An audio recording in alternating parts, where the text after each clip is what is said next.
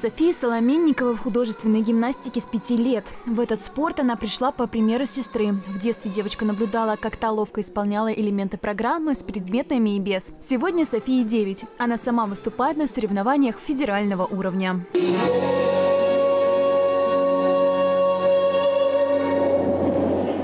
Во Владимир София приехала из Мурманска. Всего за спортивную карьеру девочка посетила порядка 10 городов. Из каждого возвращалась с победой. Я занимала в обычных и по областям я занимала. У меня больше первых мест, два вторых, э, одно третье.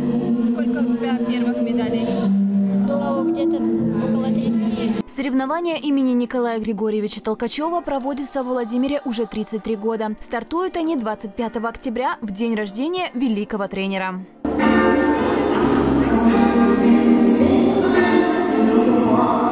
Длятся соревнования три дня. В течение этого времени гимнасты показывают свое мастерство в групповых упражнениях и в личном многоборье. У нас приехало 11 участников.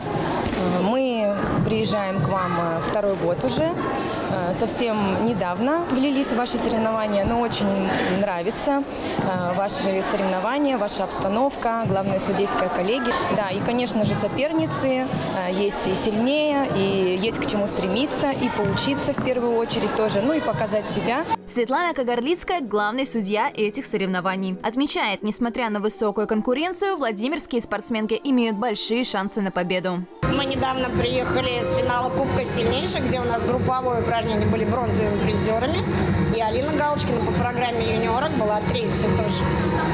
Также, да, также у нас выступает член сборной команды России, Аня Николаева. Сейчас гимнастки продолжают свои выступления в борьбе за титулы и медали. Общее подведение итогов и награждение запланировано на вечер этого дня. Александра Маркина и Татьяна Семенова.